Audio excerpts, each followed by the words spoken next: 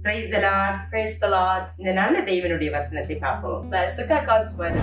யோவான் ஐந்து வசனம் இருபத்தி நாலு இப்படியாக சொல்லப்படுகிறது Job 5 verse 24 says this. உம்முடைய கூடாரம் சமாதானத்தோடு இருக்க காண்பீர் உம்முடைய வாசஸ்தலத்தை விசாரிக்கும் போது குறைவை காண மாட்டீர் You will know that your tent is secure. You will take stock of your property and find nothing missing.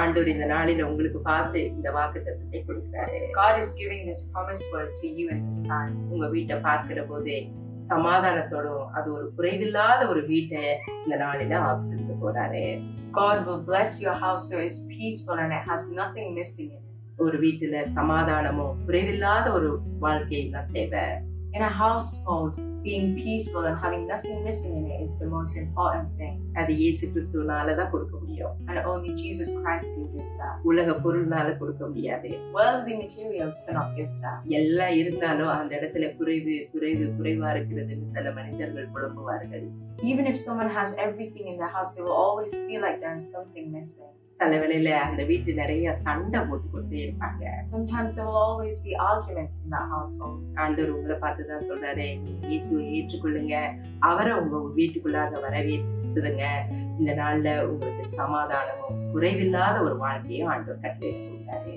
The Lord is telling you in this time if you accept Jesus and invite Him into your house, then you will have nothing missing in your house and you will have peace.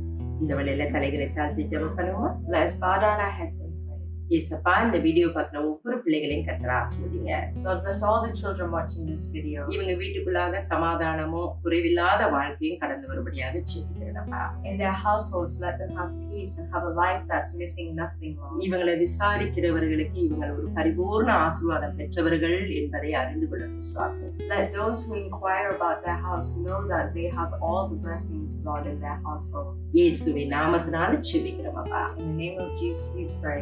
Amen Amen.